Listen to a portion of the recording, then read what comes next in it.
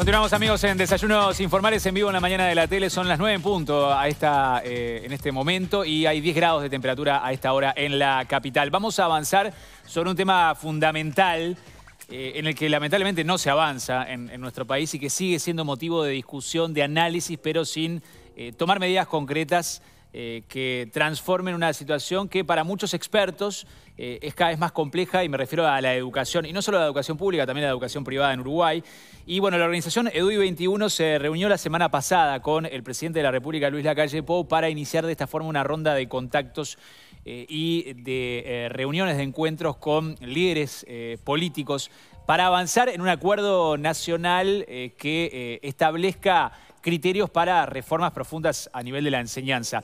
Y al igual que lo había hecho años atrás, este colectivo que impulsa estas transformaciones propone que se genere este acuerdo eh, nacional en torno al tema porque entienden que el desafío educativo es una de las urgencias de nuestro país la eh, organización EDUI 21 que ha sufrido cambios en su integración en el último tiempo. Muchos de sus ex miembros pasaron a formar parte del actual gobierno. En un momento se habló incluso de que se iba a disolver. Bueno, ahora ha retomado eh, el trabajo y está iniciando estos contactos a nivel político en un momento en nuestro país en el que parece difícil que se avance en reformas importantes. Vamos a hablar sobre este tema particular con Juan Pedro Mir, presidente de EDUI 21, que nos acompaña una vez más aquí en nuestro programa. Bienvenido, Mir. Eh, como siempre, un placer. Gracias por acompañarnos gracias a ustedes por, por invitarnos. Bueno, para comenzar la charla, em, ¿qué fue lo que hablaron concretamente con el presidente de la República? ¿Qué planteo le hicieron ustedes y qué respuesta obtuvieron del mandatario?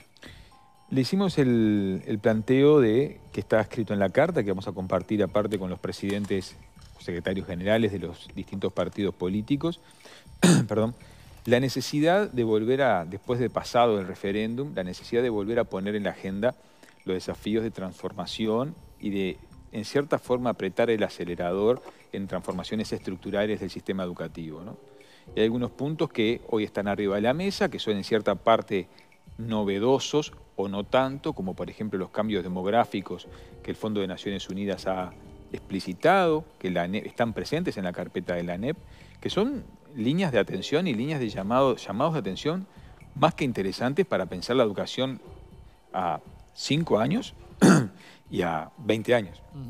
Si nosotros decimos, por ejemplo, perdón, perdón, que en tres años va a haber 20.000 niños menos en educación inicial, de un universo de 70.000 niños que hoy asisten de 3 a 5 años, va a haber 20.000 niños, 20 niños menos, eso significa que se abre una, puede verse como un problema y en parte lo es, pero los demógrafos también son claros que abre una ventana de oportunidades porque la extensión del tiempo pedagógico, la, oportunidad de optimizar los espacios, los tiempos, los cargos, es una, es una apuesta, como han hecho los países de nivel de desarrollo medio y medio alto, a extender, por ejemplo, el tiempo pedagógico y a mejorar la oferta de educación y cuidados.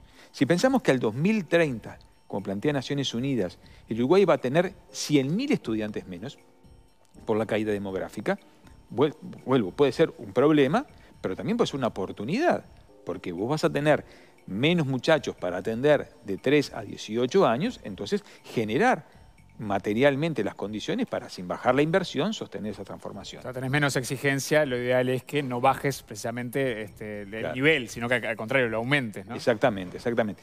Aparte, eh, los sectores que siguen creciendo demográficamente son los sectores más desfavorecidos social, social y económicamente. Entonces, el esfuerzo de la educación en general y de la educación pública en particular por mejorar la extensión horaria, la extensión académica, la profundización académica, la construcción de eh, instituciones educativas que tengan sentido de transformación y de contención y de cuidado, es uno de los desafíos de primera hora.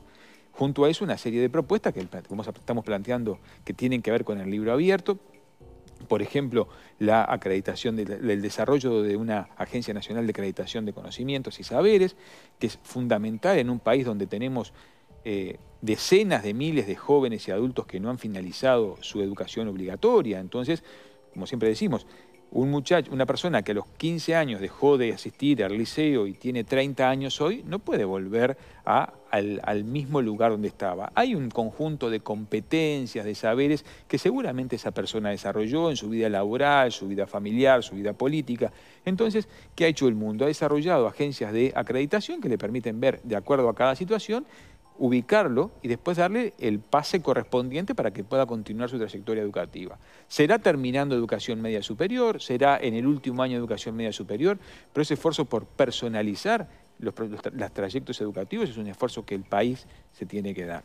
Y como decíamos, la extensión del tiempo pedagógico, donde hay una enorme demanda insatisfecha por parte de familias, de niños, de jóvenes, Basta con ver que eh, cada febrero, cada marzo, en las listas de espera de, escuelas de tiempo extendido y tiempo completo son de 200 muchachos, 200 chiquilines para que las familias puedan asistir. Y aparte esa necesaria inversión que se tiene que continuar, sobre todo en los sectores populares donde se detuvo la extensión del tiempo pedagógico, de escuelas de tiempo pedagógico y tiempo completo que tiene que, fortalecerse. Ese planteo de aumentar el tiempo pedagógico y, por ejemplo, acortar lo que son las vacaciones de, verano es un planteo que usted ha reiterado y que genera cierta resistencia o sigue generando resistencia. Capaz que yo no fui claro a la hora de, explicitar el proceso. No es aumentar necesariamente los días de escolaridad.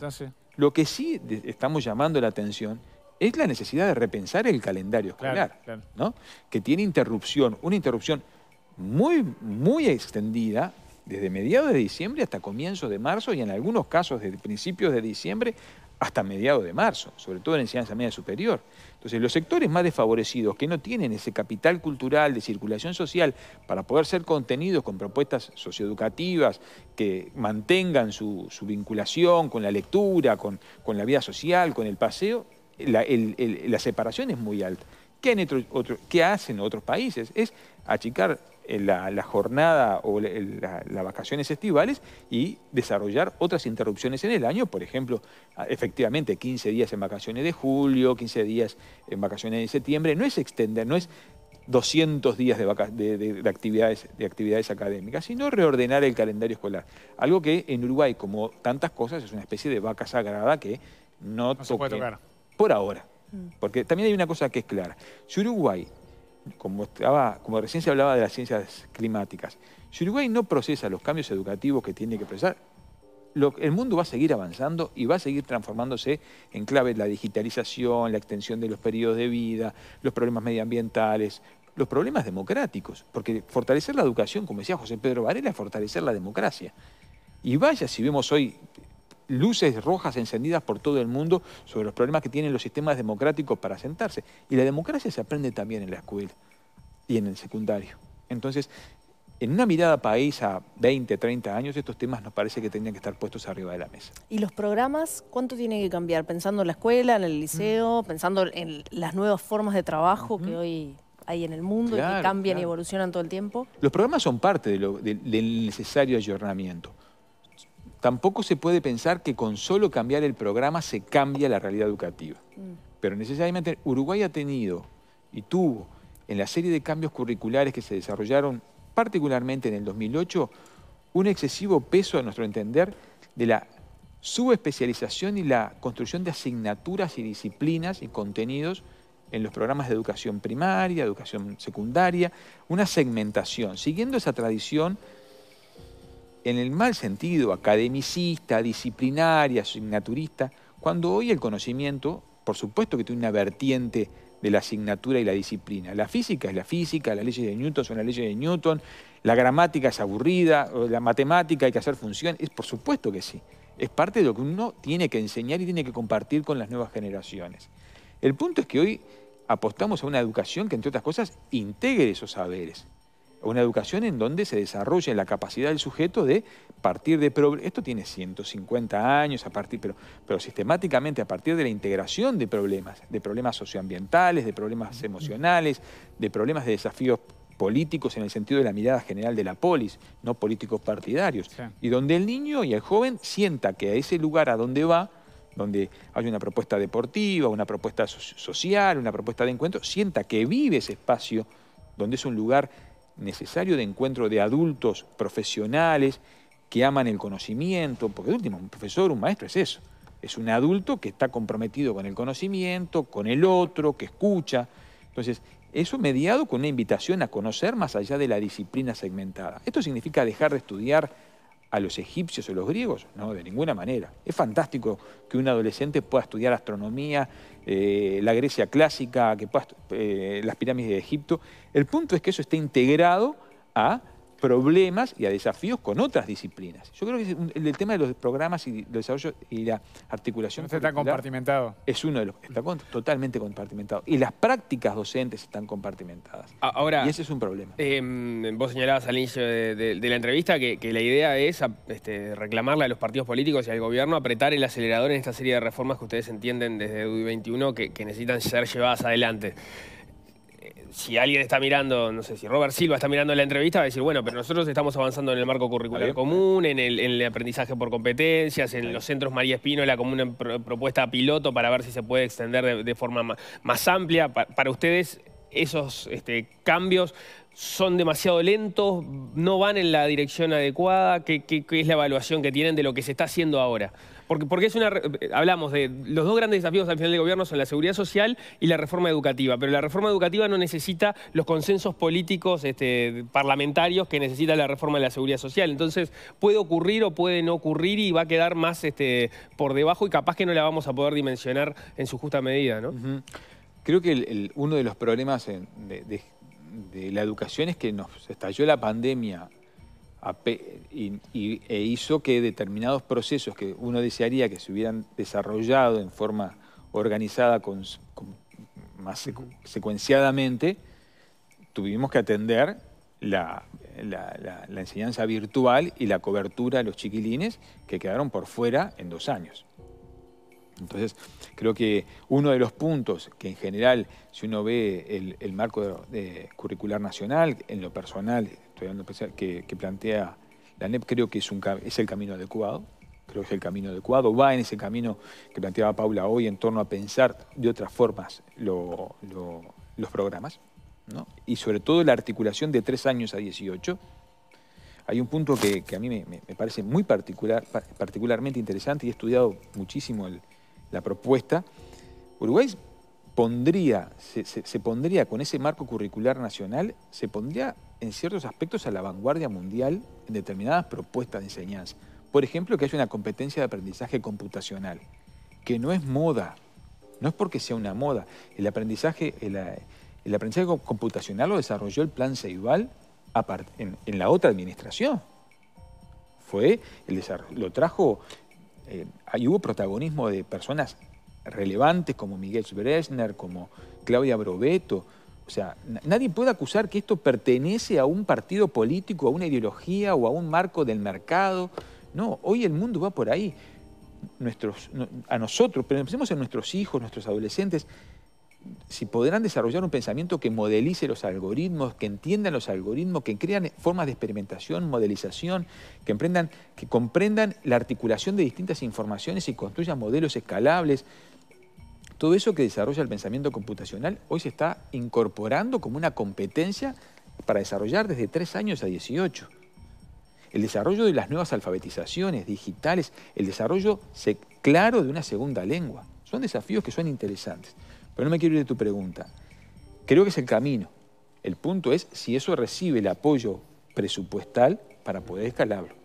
Creo eh, que ese es un punto central. En su momento, EDUI 21 había estimado cuál era el presupuesto necesario que tenían para llevar adelante las propuestas que, ponían sobre la mesa. Era un punto más del PBI, si no me equivoco, de lo que tenían en su momento. No tengo claro cómo ha evolucionado eso en términos de, PBI. Está claro que el presupuesto hacia la educación no ha crecido. Eh, en ese, eh, ahí es, una de las patas que está faltando. Y es una de las discusiones que el Uruguay se tiene que dar ahora en, la rendición de cuentas.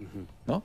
Eh, hubo está muy bien, 50 eh, millones de dólares de incremento para la primera infancia, está muy bien.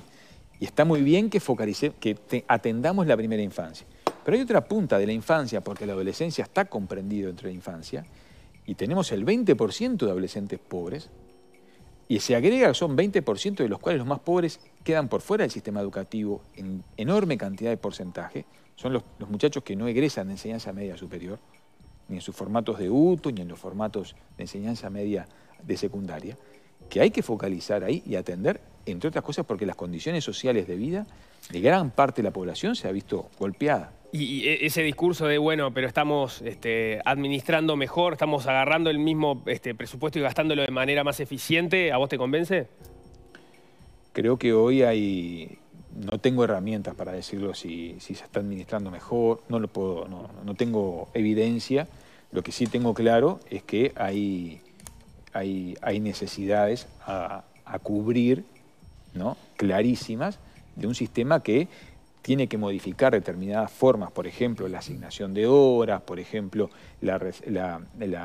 esto se viene repitiendo en Uruguay hace muchos años, que los profesores sean el profesor cargo, reasignar, por ejemplo, los roles de los directores en los centros educativos y que no estén exclusivamente centrados en la gestión y en la administración, se rompe el vidrio, tengo que comprar eh, la canilla del baño, tengo, tengo que manejar la, casa, la caja chica, entonces eh, la construcción del, director como un líder pedagógico, un, actor pedagógico central, son desafíos muy grandes a, a enmendar. Si tú me permitís, el construir proyectos educativos de acuerdo al siglo XXI no solo es tarea de la educación pública. También hay, hay una lógica dentro de, los, de, la, que el Uruguay está se mira, nosotros vemos que es muy autocomplaciente su proceso. Uruguay está muy lejos, incluso en los sectores medios y medios altos, está lejos de lograr los niveles de excelencia que Uruguay tendría que lograr para poder insertarse en la vida en el mercado mundial. o sea, en la educación privada también se está lejos de... Educación privada, educación pública que atiende a sectores medios y medios altos. Ahora, ¿cómo, adaptamos al cuerpo docente a estos requerimientos? Porque no basta con cambiar los programas ni... No, no. Sino que eso tiene que luego ser llevado adelante por, un, por gente concreta, que son los, docentes, formados en otra época, eh, con materias en las cuales nos faltan cantidad de docentes. la otra vez entrevistábamos a a Cherro y hablábamos de la cantidad de grupos que no tienen profesor de matemática porque ni siquiera hay profesores de matemática, se recurre a estudiantes a veces muy, muy jóvenes. ¿Cómo, ¿Cómo logramos incidir ahí? Lo que pasa es que en cierta forma la carrera docente sigue sin ser atractiva para nuestros jóvenes. Entonces ahí empieza el problema. Si vos haces un llamado en el Banco de Previsión Social y se presentan 80.000 personas, o en el Banco República, pero cuando tú empezás la carrera docente tenés que, eh, eh, no es desafiante para los, eh, y no es atractiva para los sectores. En Uruguay egresa el 40% de enseñanza media superior nomás, o sea, ya tenés un 60% que ni siquiera puede acceder a las expectativas de la carrera docente. Y ese 40% se reparte de acuerdo a las oportunidades. Ahora han crecido las matrículas en formación docente, porque está estudiado que aumenta la crisis social y aumenta la posibilidad docente porque es un trabajo relativamente estable. Estable que siempre hay, que siempre hay demanda. Exacto. Pero ¿por qué no es atractiva la, carrera docente entonces? ¿Por un, tema de, un tema de salario? Hay un tema de salario, que vos tenés una progresión que depende de tu edad, ¿no? Estamos todos los docentes esperando cumplir los 25 años en la ENEP para cobrar un 20% más. ¿Y es, atractivo perfeccionarse? ¿Es, atractivo estar al día, mejorar, eh, ser buen docente? No, eso ha sido parte de la falla de los incentivos. O sea, no, hay incentivos. O sea, se, pone demasiado peso en la carrera docente, en la supuesta, entre comillas, vocación y no en los procesos de profesionalización. ¿no? Por, ejemplo, en primaria, que es el espacio que yo conozco más directamente, en concursos, los, docentes accedemos a, los cargos por concurso, cosa que es una larga tradición fantástica. En los concursos, tanto sea para maestro como para director, miren lo que, para, y para inspector, no hay un ítem que sea ítem que tenga que ver relacionado, por ejemplo, con el manejo de las nuevas tecnologías y el plan Ceibal. No lo hay. Entonces, vos tenés, no, lo hay, no, lo hubo este año para los concursos de, directores, para los concursos de maestros. Si vos tenés un sistema que, ojalá cambie eso, pero se construyó en forma bicéfala. Por un lado la estructura ANEP y por otro lado la estructura Ceibal. Y se conectaban en algunos intentos. Pero no, no había una, una no hubo ojalá cambie eso, no hubo una integración de los dos proyectos. vos tenías experiencias relativamente o, fantásticas, ¿no? Por ejemplo, como decíamos, pensamiento computacional, robótica, pero eso era una lógica. El, plan, como era la red global de aprendizajes, todo era como tener un coche nuevo, un, Tesla, ¿no? Que funcionaba, que, que, estaba todo ordenado. Pero por otro tenías la realidad de las escuelas y la red programática que iba por otro lado. Pero a vos como maestro, como director, no te, te evalúa por lo que avanzás en el plan igual, se te evalúa por cómo manejás el, otro coche. Y no se exige tampoco para el, para el docente este, que se avance en ese conocimiento. No, no se exige. o sea que puede haber un director, un director de, un instituto que nunca haya tocado el Ceibal y no tenga idea. Por supuesto, sí. por supuesto. Y ese es uno de los problemas que tuvo Ceibal. Es unos problemas estructurales. Por un lado, la construcción de una propuesta que se destaca en el mundo, el mundo llama, eh, ve con atención, por ejemplo, los niveles de conectividad, los niveles sí de formación, pero que eso repercuta efectivamente en la, en la formación o en la construcción dentro de las aulas, en secundaria, y en secundaria ni hablar. ¿no? Pero en primaria también se nota. En primaria. ¿Eso no quedó evidenciado mayormente con la pandemia, justamente? La pandemia nos exigió a un ayornamiento, entre otras cosas, para empezar a sistematizar y aumentaron muchísimo los usos, por suerte, de, los, de la plataforma CREA, de las plataformas que nos permitían desarrollar las actividades en forma virtual. Pero me, quedé pensando, Ceibal desde adentro de la NEP nunca hubiese podido existir, ¿no? Cuando, cuando se conversaba con Brechner a propósito de cómo habían sido los primeros tiempos de, instrumentación del plan Ceibal, vos veías que había un montón de decisiones que si, requería la burocracia de, la NEP o, la forma de, decidir de la NEP nunca se hubiese llegado. Es cierto, es cierto, es cierto. También eh, creo que, sí es cierto, creo que la NEP es el sistema más complejo del Uruguay, ¿no? Tiene 60.000 funcionarios, es una ciudad. Germán Rama decía que por los, edificios de la NEP entran y salen 800.000 uruguayos todos los días. Y ahora con los cambios que se, que, se, implementaron a través de la ley de urgente consideración, con la eliminación de los organismos desconcentrados, con las direcciones eh, unipersonales, eso, este, ¿ustedes cómo lo, cómo lo ven en, medio de, de todas estas discusiones para avanzar en reformas más profundas? Porque hay un Ministerio de Educación más político con, otras potestades que, este, de las que tenía, o mayores potestades de las que tenía antes. Y el argumento del gobierno justamente eh, es que de, mediante esa vía se puede avanzar en reformas más este, profundas, más rápido, sin este, tanta burocracia como pasaba antes. ¿Ustedes no, no coinciden en cierta medida con eso? Nosotros como, como DUI no tenemos una visión homogénea sobre el tema. No, no tenemos... Por Sobre todo considerando que, por ejemplo, Pablo de Silveira, este, bueno, Robert Silva, que lo mencionamos, formaban parte antes de la organización. ¿no? tenemos una visión, por eso con el, con, el tema de la LUC y los cambios no, no desarrollamos, no, no, participamos en el debate político porque no, no teníamos una visión homogénea. Lo que sí creemos en el marco que los cambios de gobernanza son necesarios, pero por sí, si no hay, por sí solos no cambian nada. Si no hay presupuesto, si no hay liderazgo, si no hay construcción de acuerdos que permitan que la construcción de políticas educativas más allá de los periodos de gobierno de cinco años. Que hay un punto que nos parece importante. Uruguay ha construido algunas políticas de Estado que han trascendido cinco años. Por ejemplo, el Plan Ceibal. Por ejemplo, la extensión del tiempo pedagógico hacia cuatro años y hacia la extensión del bachillerato.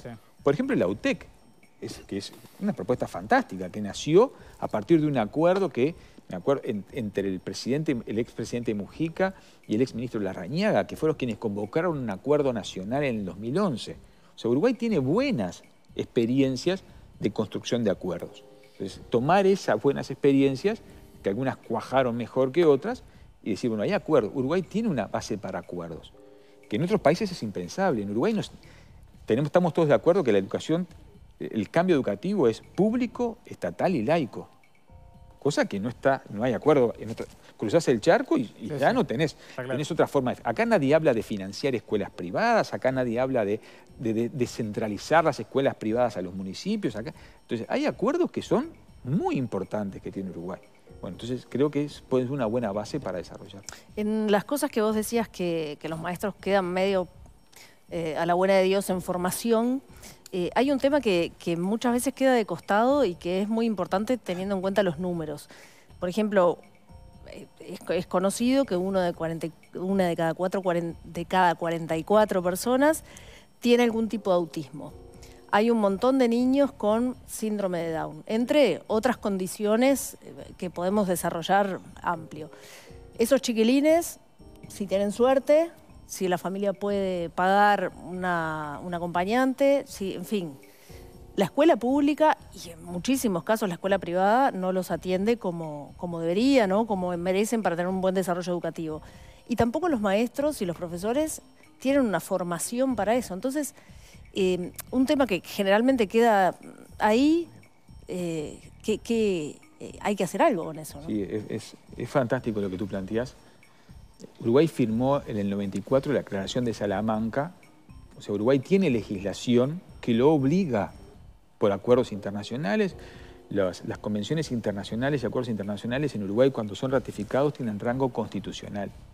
Uruguay firmó en la, UNESCO lo que se llama la Aclaración de Salamanca, que establece la obligatoriedad de incluir a todos los niños y jóvenes en la educación obligatoria. Y se han hecho algunos esfuerzos. Se ha ido pasando del paradigma de la escuela especial, que era como un lugar aparte, a integrarse a los procesos de inclusión en las instituciones comunes.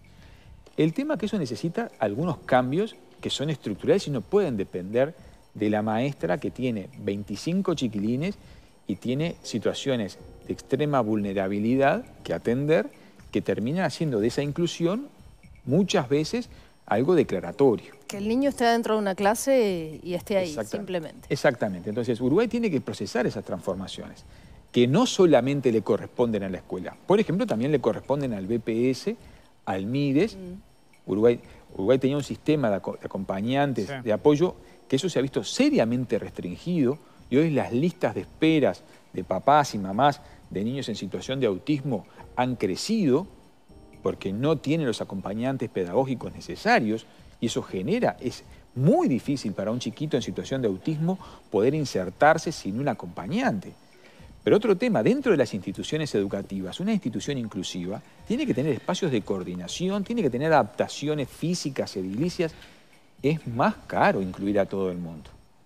Es más caro, no solamente por lo físico, sino por la cantidad de personas que tú necesitas, porque un niño en situación de autismo o situación de, algunas de las discapacidades que se pueden generar, necesita tener espacios para, para insertarse, para salir del salón, necesita espacios acogedores, necesita grupos más reducidos. Y personal capacitado también. Y personal capacitado. Entonces, ese es un debe Uruguay, es un debe clarísimo que tiene que ver con cómo construimos escuela, escuela inclusiva, cómo evaluamos, si Uruguay sigue pegado a la nota como sinónimo de evaluación, si no empezamos a, ver, por ejemplo, que la nota per se no dice nada, sino que, que implica otras formas de evaluación ampliamente desarrolladas en, el mundo entero, ¿no? y también en algunos casos en Uruguay, si no empieza a haber otros objetivos más personalizados en las clases, las clases más pequeñas, grupos de apoyo, va a ser muy complejo que se haga efectivo eso. No solo es plata, sino voluntad política también, ¿no? O sea, sí, es plata, y pero formación también querer hacerlo. Sí,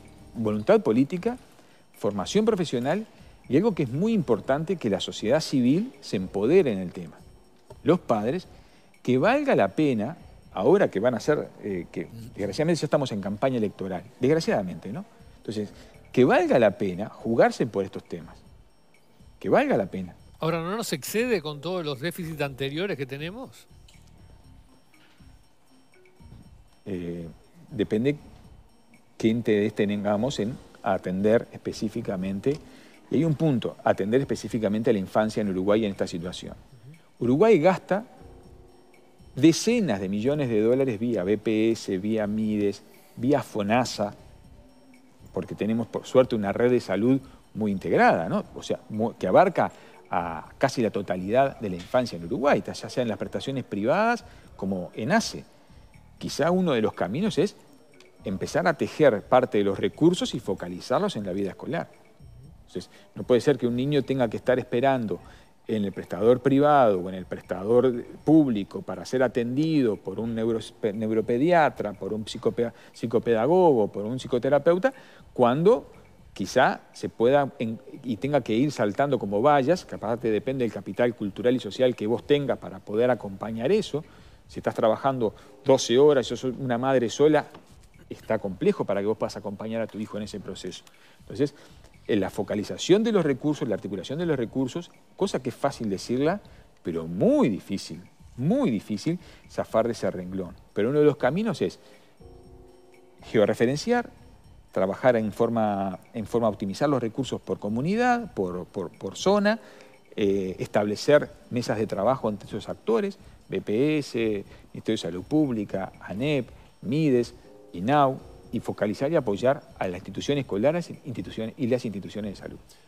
¿Con qué expectativas salen a hacer este recorrido y qué tipo de compromisos este, buscan de parte de, los partidos políticos? Porque este es un, recorrido que vos ya conocés, ¿no? O sea, recordemos, el, tema de, la educación se puso muy fuerte sobre la agenda durante el, gobierno de José Mujica, tuvo una este, participación grande en la discusión de la campaña electoral, ahí aparecieron Filgueira, apareciste vos, ya sabemos lo que pasó, salieron, volvió a estar en la campaña electoral, apareció en la previa de UD21, ganó un gobierno en el cual varios de los actores de UD21 terminaron en el, en el Ecodiseño y en el Ministerio de Educación y Cultura, Pablo da Silveira, Robert Silva, Adriana Distimuño, y están de vuelta haciendo el mismo cabildeo, ¿no? Sí, sí, sí, Este, Entonces, ¿qué, es lo que, qué, qué tipo de compromiso, por lo menos de mínima, buscan de los partidos y qué expectativas tenés? ¿Puedo decir que uno es medio obstinado? Parecería. Pero a veces es necesario. o sea, Es necesario. Creo que, que es necesario, vale la pena que estemos discutiendo acá del tema y que nos estén escuchando miles de personas y que, esté, y, y que aparezca junto con los temas que aparecen en la agenda, algunos espantosos como aparecen en, los últimos, en el último tiempo, el- que, que- que- que- que volver a plantear el tema educativo en la agenda pública, algunos creemos que vale la pena. ¿no? Cuando uno pregunta en la encuesta la- las preocupaciones, en este contexto es lógico, nos preocupa el salario, el trabajo, la seguridad, y educación aparece debajo de un 6%. sí. Y quizá la tarea nuestra es, sin pretensión ninguna, de ser como, como ese Pepe Grillo y dice, ojo, cuidado, si descuidamos esto, eh, nos va a ir mal. Entonces, ¿qué expectativas tenemos? Y bueno, tenemos la expectativa de poder encontrar alguna línea de acuerdo con los actores, una expectativa cauta, de encontrar alguna línea de acuerdo entre los actores políticos para que se, se generen en lo inmediato cambios en la rendición de cuentas, que ¿El presidente les dijo algo en ese sentido? el presidente nos adelantó que hay intenciones de, en la rendición de cuentas de hacer un gasto focalizado en determinadas áreas en mejoras en, en- en educación. Nosotros insistimos que así como fue interesante que eh, la rendición fuera centrada en la primera infancia, que esta tuviera un peso importante el presupuesto en la NEP y las mejoras de condiciones de trabajo en la NEP. ¿Ustedes sienten que del documento del 2018, el libro abierto al que hizo referencia varias veces, eh, se lo ha escuchado, se han tomado aspectos por parte de la, de- de la actual administración? Algunas cosas sí, sí, sí, sí. Por ejemplo, eh, creo que en la construcción de un currículum donde haya un peso de competencias es un punto que, que estábamos de acuerdo. La necesidad que nosotros insistimos que haya un liderazgo político claro del Ministerio de Educación y Cultura es un tema clave, clave, que no va en contra de la autonomía técnica, porque en Uruguay la autonomía parece que también es un tema que no se puede discutir, eh, eh, es parte del capital histórico necesario, pero la autonomía no puede ser una patente de corso para que no se coordine. Entonces, en, la necesidad de articular un sistema complejo como tenemos, necesita, gobierne quien gobierna, un liderazgo político claro. Ahora está gobernando el Partido Nacional, la coalición. Después será lo mismo o serán otros actores. Pero alguien, en- cuando sean las elecciones, va a tener que poner, pasar raya y decir, hemos logrado A, B, C o no lo hemos logrado. Entonces, en ese punto creemos que son, son temas que han estado arriba de la mesa. Juan Pedro Mir, muchas gracias como siempre por acompañarnos. ¿eh? Un No, un gusto, gracias a ustedes. Muchas gracias. Que pase bien, buena jornada.